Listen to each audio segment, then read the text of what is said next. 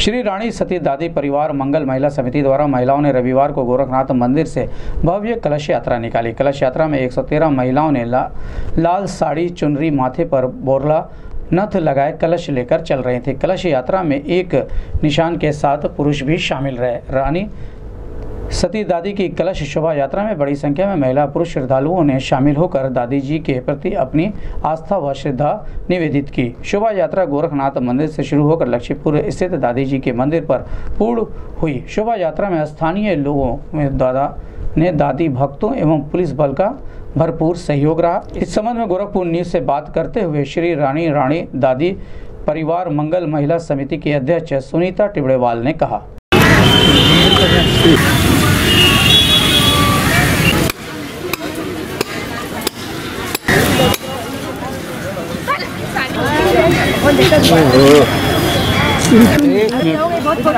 बोलो जय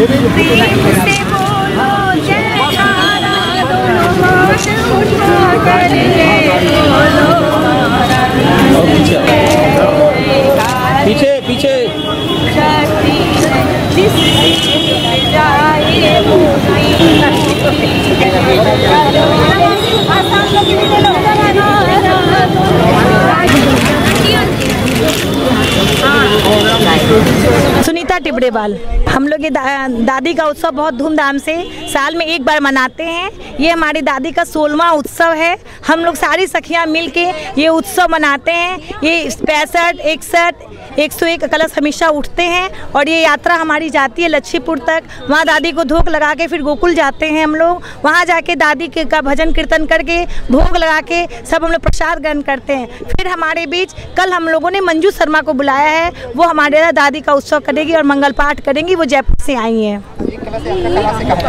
ये गोरखनाथ से लेके लच्छीपुर तक जाएगी।